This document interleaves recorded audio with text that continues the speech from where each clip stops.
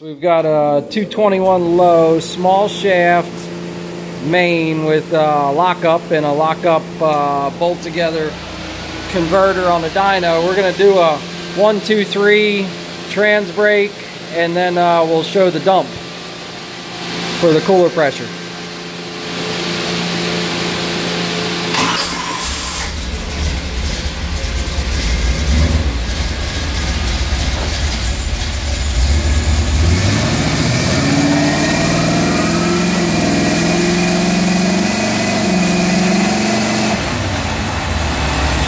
There's a quick little easy one, two, three and clean neutral.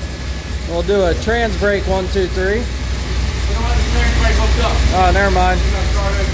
We'll just do the dump. So we'll get a little bit of RPM. Here's our cooler pressure. 80.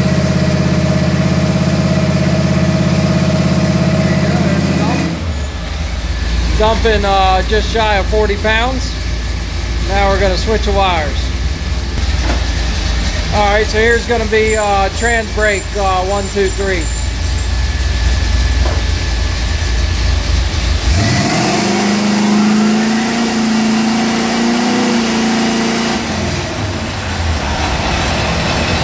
So, 420 on the flow is about 270 pounds of line pressure. All right, so we're gonna do a one, two, three lockup.